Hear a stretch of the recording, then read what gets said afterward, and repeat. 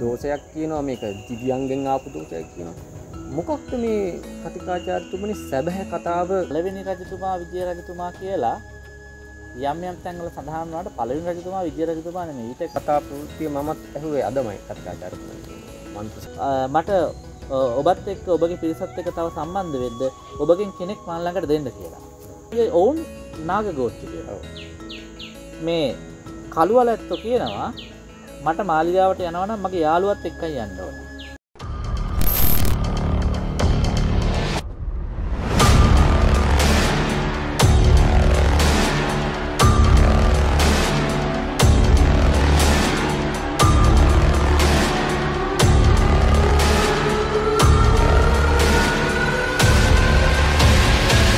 ඔබට තව ටික වෙලාවකින් බලාගන්න පුළුවන් පාර කොහොමද කියලා. නමුත් අපේ කණ්ඩායම ඔබ වෙනුවෙන් ඉදිරියටම යනවා. අපි කන්ද මුදුනේදී හම්බුමු. විජය රජුගේ විසෝකට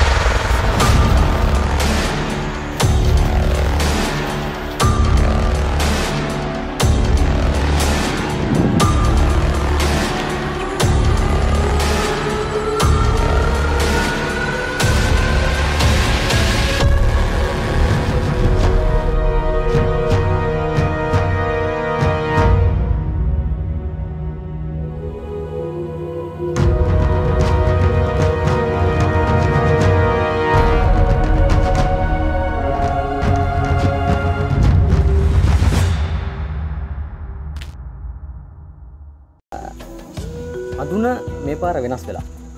අඳුන වෙනස්ම දෘෂ්ටියක් ලබා දෙන්න සමත් වෙලා. කියන විෂයට ගියපුහම ඉතිහාසය කියන විෂය පදරම් වෙන්නේ ලිඛිත ඉතිහාසය. බැමිණි ගල්ල කියන නම කොහොමද කතිකාචාර්යතුමනි? අන්තිමයට බැමිණි ගල්ල බවට පත් වුණා.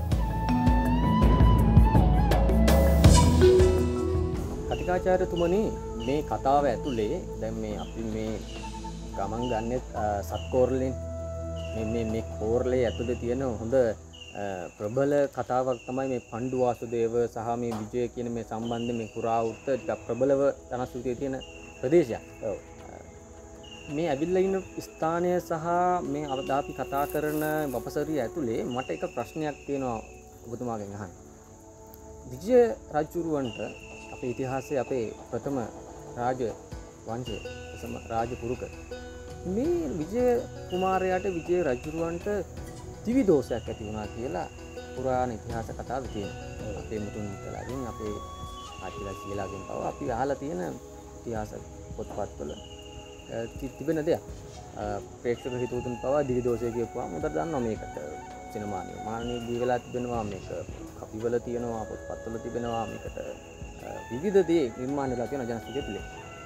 ඇතමුන් විවිධ මත පල කරන දිවි දෝෂයක් කියනවා මේක දිවියන්ගෙන් ආපු දෝෂයක් කියනවා.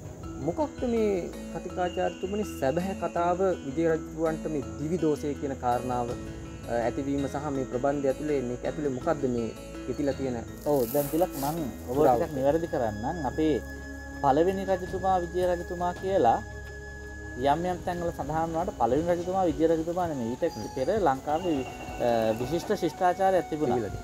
ඒ ශිෂ්ටාචාරයේ යම් විදිහකට ගිලා බැහැලා තියෙනවා.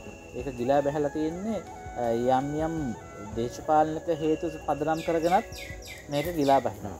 ඒ වගේම සංස්කෘතික හේතුන් පදනම් කරගෙනත් ගිලා බහිනවා. ඒවා අපි අපි ඒ- අපි ඒක වෙනම කතා කරන්න ඕනේ. යුතුයි. නමුත් විජය කියල කෙනෙක් ලංකාවට ඇවිල්ලා ලංකාව හිටපු යක්ෂගෝත්‍රිකයන්ව යම් විදිහකට සමූල ඝාතනයක් කරලා ඊට පස්සේ මෙතන රජ වුණා. අපේ රාජ්‍ය වංශයේ තියෙන සම්බන්ධකමුත් අරගෙන තමයි රජ වුණේ. එතකොට මේ අ, විජය රජුරුව මේ සමූල ඝාතනය කරාට පස්සේ ඔහුගේ හිතේ හැමතිස්සම කැකෑරුණු බයක් තිබුණා කොයි වෙලාවෙ හරි මේ යක්ෂගෝත්‍රිකයෝ අ, ඇවිල්ලා නැවත ඔහුට පහර දෙයි කියලා. ඔවුන් එක්ක සම්බන්ධ වෙච්ච නාගෝත්‍රිකයොත් ඒ අතර එයි කියලා. ඒ වගේම තමයි අ, ඊට වැඩිය බය වැඩි වුණා අර අ, විජයානි කුමාරිව ලංකාවට ගෙන්න්න ඕන හින්දා ඔවුන්ගේ ක්‍රමයට ඉන්දයානු ක්‍රමයට අභිෂේක කරන්න ඕන හිද විද්‍යාන කුමාරි ලංකාවට ගෙන්න්නන්ට පුවනි විසවුන් වහන්සේ මාලිගාවෙන් පිටමං කලා එතකොට මේ බය වැඩි වුණා යක්ෂනාග ගෝත්‍රකයෝ අ, නැවත මට පහර දේද කියලා. එතකොට යක්ෂනාග කියන්නේ දෙගොල්ලා දෙගොල්ලකින් දී ආ. දී වංශිකයෝ. එතකොට වංශිකයෝ දෙ- දෙගොල්ලක් ඉන්නම්. මේ වංශිකය දෙකල්ල කොයි වෙලා හරි මට පහර දෙයි කියලා ඇතිවෙච්ච මනෝව්‍යාධයක් තියෙනවා. ඒ මනෝව්‍යාජ තමයි මේ ද්වී දෝෂය තමයි පස්ස දිවිදෝසය දිවි දිවිදේනුවක් හිටියා. ඉතින් ඔය කාරණාවලට පස්සේ ජනස්ෘතිය ඇතුළේ හදාගෙන තිබුණ. නමුත් දී දෝෂය කියන යක්ෂනාග මේ දෙගොල්ලන්ගේ දෝෂයක් කියන එක. මේ දෝෂය නැති කරන්න කියලා විවිධ වෛද්‍යවරු ඉන්දියාවෙන් ගෙන්වා ලංකාවෙන් වෛද්‍යවරු හොයන්න හැදුවා. ඒ කිසිප දෙයක් සාර්ථක වුණේ නෑ. ඊට පස්සේ ඉන්දියාවට පනිවිඩයක් ඇව්වා හොඳ මන්ත්‍ර ශාස්ත්‍ර දන්න කෙනෙක් ඉන්නවනම් එවන්න මේක නැති කරන්න කියලා. ඊට පස්සේ ඉන්දියාවෙන් කෙනෙක්ව ලංකාවට ගෙන්නවා ඒ කෙනා හොඳ මන්ත්‍ර ශාස්ත්‍ර ප්‍රගුණ කරපු කෙන. නමුත් එයාටත් අද ලංකාවේ දේව වන්දනයක් විදිහට සම්බන්ධ කර ඔහටත් වඳින අප දෙන අපට දකිට පුළුවන්. ඒ තමයි වීරමුන්න මලල බණ්ඩාර වීරමුන්න මල්ල බණ්ඩාර ඔවු මම ඇතරම ඔය ඔය කතා පෘතිය මමත් ඇහුවේ අදමයි කත්කාචර මන්ත්‍ර සම්බන්ධෙන් හොම පුත්තල් චරිතයක් ලංකාවට ගෙනාව කියෙන කාරණ. ඕ නමුත් ඔහු මන්ත්‍රශාස්ත්‍ර ශිල්පියෙක් කියන එක අපේ ජනස්ෘතිය කොහෙවත් තියාගෙනඉන්න නෑ. තියාගෙන ඉන්නේ ඔහු ලංකාට වෙල්ලා කොහොඹා කංකාරිය කරා කියන කරුණ. කරුණ. එතකොට කොහොඹා කියන වචනෙත් එක්ක අපි ආය බද්ධ වෙනවා. අපි කිව කොහොම ලැත්ත තම හිත කියලා. එතකොට අපිට ඉස්සර සම්බන්ධ කරන්න පුළුවන් ඒ කොහොම ලැත්තංග පරම්පරාවෙන් ගෙන පරපුරු අදරත් ඉන්නවා. සර ඇතුලේ අඳුන සරිසර සරිසර අපට ඉදිරියේදී ඒ සම්බන්ධ කරගන්න පුළුවන්. තකොට කොහොඹා කංකාරී එහෙනම් කොහොඹ කියන්න යක්ෂ ගෝච්චකය යක්ෂ ගෝත්‍රකයන්ගෙන් ගෙන යම්යම් බලපෑම් මනසට බලපාල තියෙනවා ඒවා නිරාකරණය කරගන්න ඔහු කරපු යංකිසි ශාන්තිකරමයක් තම කොහොඹ කංකාරී ඒකතුර ජනසුතු වෙන වෙන විදිර හදාගන්න තියෙනවා. යක්කං ටිකක් හදාගන්න තියෙනවා. ඒකට අයිතන් අයිතන්ඩ ඒකන්න මනෝව්‍යාදයක් ඇතිවුණහා මනෝව්‍යාදිය නිරාකරණය කරන්න යම් සෞන්දර්යාත්මක ප්‍රවේශයක් තම ඒතුරින් ගන්න. ගන්න. ොට ඒ ඔස්සේ ඔහුට මේ රජ්ජුරුවන්ට යම් මානසික සහනයක් ලබා දීල තිබුණ. එතනින් පස්සේ අර අපි ඉස්සල්ල කතා කරපු බද්ධකච්ඡායන කුමාරගේ කාරණය මෙතන සම්බන්ධ වෙනවා. කුමාරී ගිහිල්ල රජ්ජුරුවන්ට කියනවා මේ රට ඉන්නේ අමුතු මිනිස්සු පිරිසක්. මේ මිනිස්සු අපි එද්දි අපි අල්ල ගත්තා අල් අපි වරගෙන ගල් කරා. නමුත් නැවත අපි කවද කියල දැනගත්තර පස අපිට හොඳට සැලකුවා. සල කල තමයි අපි වෙව්වේ. ඒහින්ද ඒ මිනිස්සුන්ට අපි මොකක් හර දෙයක් කරන්න ඕන. රජ්ජුරකය මොකක්ද කරන්න ඕන කියලා. අපි පිරිසේ නායක ගෙනල අපි ඔවුන්ට යම්කිසි වරප්‍රසාද දෙමු. ඔවුන් සම්බන්ධ කරගන්න. මෙන්න මේ කතා බහින් පස්සේ පඩුවස් දෙව් රජ්ජුරුවෝ කොහොම ලැත් අන්ුව මාලිගාවට ගෙන්වා මාලිගාවට ගෙන්නලා සුහද සාමා සෝද කතා බහකින් පස්සේ යම් ගම්මර තිල්න කිරීමක් සිද්ධ කර. එතකොට ඒ ගම්මර තිල්න කිරීමෙන් පස්සේ රජ්ජුරෝ කිව්වා මට ඔබත් එක් ඔබගේ පිරිසත් එක තව සම්බන්ධ වෙද්ද ඔබගෙන් කෙනෙක් මල්ලඟට දෙන්න කියලා.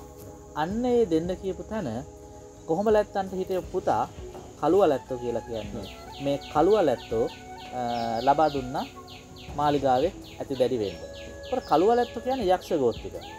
ඒවගේම මේ ගම්මානයට එහා පැත තියෙනවා හිත්තරගම කියල ගම්මාන හිත්තරගම. ඕ හිත්තරගම කියන ගම්මානය හිත්‍රගම කියන නම හැදෙන්නේ චිත්තරාජ ගාම තමා හිත්‍රගම වෙන්න.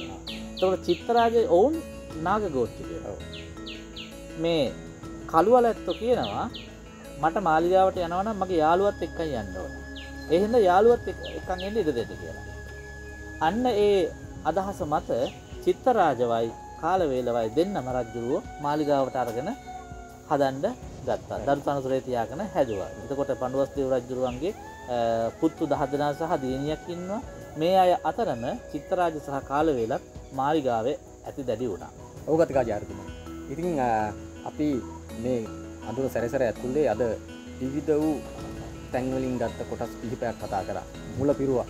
අද ඉඳං අඳුන සැරිසර ඉදිරියට එනවා විවිධ වූ මානයන්ගෙන් ඔබ වෙතට මේ සංස්කෘතික කියවීම අපේ ජනස්ෘති ඇතුළ තියෙන නව සංස්කෘතික කියවීම මේ නවමාධ්‍ය හරහා ඔබ වෙතර ගෙනෙන්නට. විශේෂයෙන් අපි අද නතර කරේ මේ කතාපුවතේ හරි මැදක. තව එහෙම්මම කොටසක් ඉතුරු වෙලා තිබෙනවා. එවනේ දකත කවුන. ඉතින් ඒ කොටසමුත් අපි ආය හම්බ වෙනකං අදට අඳුන සැරිසර වැඩසරහනෙන් අපි මෙතනින් නතර වෙනවා. හැබැයි ප්‍රේක්ෂක හිතවතුනි බොහෝම ඉක්මනින් මේ අද මැදින් ඉවර කරපු කතා ප්‍රවෘත්තියත් නැවත ඔබ වෙතට ගෙන එන්නට බලාපොරොත්තුවෙන් අදට අඳුනින් සමුගන්නවා කතිකාචාර්යතුමනි. බොහොම ස්තුතියි. ආයිබෝවන්. අයිවත් සුවෙන් ඉන්න ඕන. නැවත හමු වෙනකම් එසේනම් ඔබත් සියලු දෙනා සුවෙන් පරිස්සමෙන් මේ කොරෝනා කාලය තාම මේ වසංගතය මේ බිය අපට සහමුලින්ම තුරන් වෙලා නැහැ අ, වෛද්‍ය උපදෙස් ආරක්ෂණස දෙන උපදෙස් පිළි අරගෙන අඳුනත් එක්කන් අඳුන සැරිසර නවතම වාර්තා වැඩසටහනත් එක්කන් එකතු වෙන්න අපි ආයෙත් හමු වෙනකම් අද සමුගන්නවා. ඔබට සුබ දවසක්.